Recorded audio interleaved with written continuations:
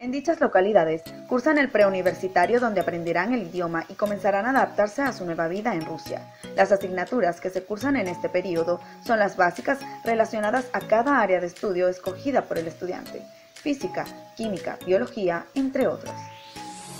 En Rusia se aceptan equivalencias de materias, descúbrelo a continuación.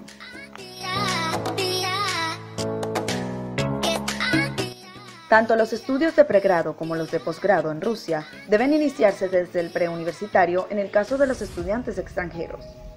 Al tratarse del sistema universitario ruso de un método de estudios único, no es posible realizar equivalencias de materias cursadas en instituciones de cualquier otro país. En el caso de las personas provenientes de la región de Latinoamérica, estas llegan principalmente a ciudades como Moscú, Kazán o recientemente y cada vez con mayor protagonismo, Belgorod. En dichas localidades cursan el preuniversitario donde aprenderán el idioma y comenzarán a adaptarse a su nueva vida en Rusia.